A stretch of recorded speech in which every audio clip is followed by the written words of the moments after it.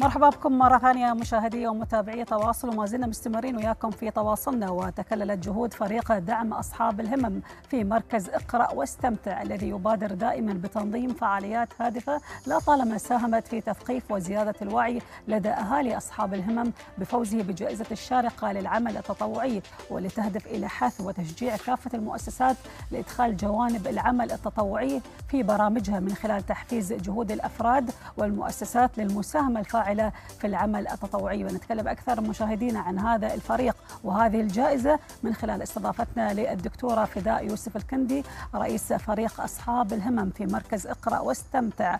أكيد مرحبا بك دكتورة وحياك الله ويانا. وقبل ما أبدأ وياك الحوار أكيد الخبر اليوم يعني أثلج صدر جميع أولياء أمور أصحاب الهمم اللي هي حمدان بن محمد يعني الله يحفظه يعتمد منفعة مالية جديدة بقيمة 44 مليون درهم تصرف لأصحاب الهمم من مواطني إمارة دبي. أكيد وتشمل تكاليف مختلفة ونعرف هاي التكاليف تكون عبء كبير على أولياء الأمور حقيقة أولياء أمور أصحاب الهمم. فنبارك للجميع إن شاء الله وأكيد إن شاء الله يكون في كثير من المبادرات اللي تهدف أصحاب الهمم. بداية قبل ما نبدأ ونتكلم عن الجائزة أكيد عبد الله كانت تبغي الدكتورة تعرف المشاهدين باقرأ واستمتع. السلام عليكم ورحمة الله وبركاته وطبعا أكيد يعني اليوم أنا سعيدة جدا بهذا الخبر اللي طلع صدر من صاحب من الشيخ حمدان بخصوص دعم أهالي أصحاب الهمم وأصحاب الهمم في في إمارة دبي لأن طبعا أكيد وهم طبعا عليهم كاهل كبير بالنسبة للكاهل المادي في العلاج وهذا اثلج صدورنا كلنا إحنا كأهالي أصحاب الهمم. وبداية أعرفكم بنفسي. أنا دكتورة فداء ذياب رئيس فريق دعم أهالي أصحاب الهمم في مركز إقرأ واستمتع. وأحب دائما أتكلم عن مظلتنا اللي هي دائما ترعانا وصلنا سنين معاها. وفعلا كان ليها اليد الكبيرة أن إحنا نفوز بهاي الجائزة مركز إقرأ واستمتع. المبادرة هاي بدأت في 2014 ومؤسس مبادرة إقرأ مركز إقرأ واستمتع الأستاذة وداد بشنين رئيس المركز. وطبعا إحنا رئيس الرئيس الفخري للمركز الشيخة شمسة بنت حشر آل مكتوم. وكانت المبادرة هاي بدأت في 2014 وأصبحت في 2016 مع مبادرة الشيخ خليفة طيب, الله ثراه. أصبح المركز معتمد من مشاريع الشيخ محمد بن راشد ومن الدائرة الاقتصادية حتى يأخذ صفة الرسمية أكثر. المب... المركز هذا نحن مش فرقة واحدة فرقة اصحاب وإنما إحنا عدة فرق. عندنا فرقة كبار المواطنين وفرقة الأسرة وفرقة المعلم وإحنا أصلا مبادرة تدعي إلى الاهتمام بالقراءة والتشجيع على القراءة والثقافة. فإحنا استغلينا الأمر من خلال إنشاء هذا الفريق من حوالي ست سنوات اللي هو فريق دعم أهالي أصحاب الهمم اللي هو يهدف إلى التركيز على أهالي أصحاب الهمم. ودعم أهالي أصحاب الهمم لأن الأسرة هي أساس العلاج. لو أنا بطرش ابني المركز أنا بعد من حقي أعرف كيف أتعامل مع طفلي هذا. وأنا طبعا أصلا ام لطفل من أصحاب الهمم. أصلا المركز ساعات معدودة. أنت هي. أنت باقي باقي في الساعات البيت طول الوقت يعني. الأم. فصرنا ست سنوات ست سنوات في هذا المبادرة وعندنا منصة تثقيفية جميل. موجودة على اليوتيوب.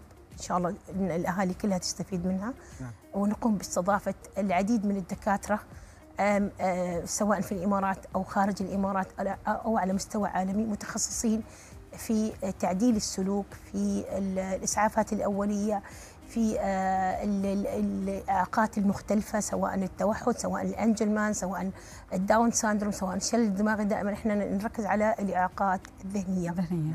ونركز أهم شيء إن الأم هي تستفيد الأب يستفيد.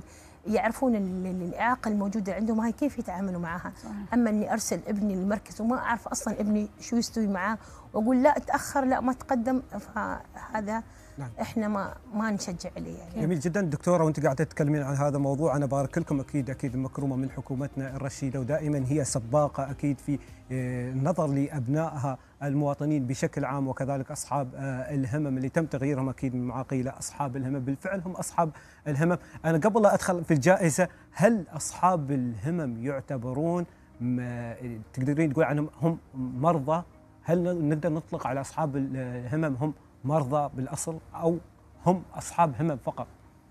يعني أنا بالنسبة لي أنا ما أعتبر آه، إن المريض اللي أنا بهتم فيه أو من هو منذ الصغر بطور من قدرته إنه يكون مريض نعم. لأني أنا كل ما اهتميت فيه كل ما تطور نعم. الطفل اللي أنت تساعده لازم تسوي له تدخل مبكر أكيد بيتحسن واكيد بيكون يعني مع مع الدورات ومع التدريبات أكيد بيكون أحسن وبتقل عنده نسبة ال يعني التأخر الموجود عنده يعني فمع الاهتمام أنا ما أعتبره مريض ممكن هم يكون متعود على روتين معين فيمكن يوم تغيرين هذا الروتين يحس شوي بالصعوبة وتقدرين انت أكيد هذا الروتين تغيرينه من خلال أكيد هذه المراكز الموجودة. طبعا إحنا في طبعا في جانب إحنا مع التوحد طبعا إحنا التوحد إحنا ما نعتبره مرض أنا بالنسبة لي ما اعتبر الطفل التوحد مريض يعني لأنه هو طفل ذكي. ذكي صح سبحان الله. الله اني أنا اهتم في مع الوقت مع الوقت إن شاء الله بيكون في في كثير من ونحن طبعا أكيد إحنا في عندنا ناس عالميين عندهم هذا الشيء وما شاء الله يعني في كثير ناس عندهم اعاقات متلازمة داون أو التوحد أو غيرها من الاعاقات ما شاء الله تميزوا عن الأفراد العاديين في كثير من المجالات. تبارك الله. هذا يعني نتيجة إصرار ومثابرة وتحمل من أولياء الأمور. يعني هو شوفي اللبنة الأساسية مع أصحاب الهمم هم الأسرة. إذا الأسرة أهملت الطفل تراجع. لأجل هذا إحنا ركزنا في مبادرتنا على الأسرة. نعم. يعني نحن نبغي عشان بس الوقت ما يداهمنا نتكلم عن الموضوع الأساسي اللي أنتم متواجدين من خلاله اليوم. عندنا في تواصل وأكيد نبارك لكم حصولكم على هذه الجائزة. فأنت عندك بعد معلومات تبين أن كيف جت هاي الجائزة؟ أه والله جت هاي الجائزة أن مديرتي الأستاذة وداد بشتين. قالت آه أنا شايفة إنه ما شاء الله أنا الفرق عندي وايد آه أبدعت وخلال السنوات هاي سوت إنجازات فأنا حابة أدخل فيكم في جائزة الشارقة للتطوع وفعلا كلنا قدمنا ورفعنا أوراقنا كلها لجائزة الشارقة للتطوع وكانت المفاجأة مع إنها تاخر تأخرت النتيجة فقلنا خلاص يمكن ما هي دورنا.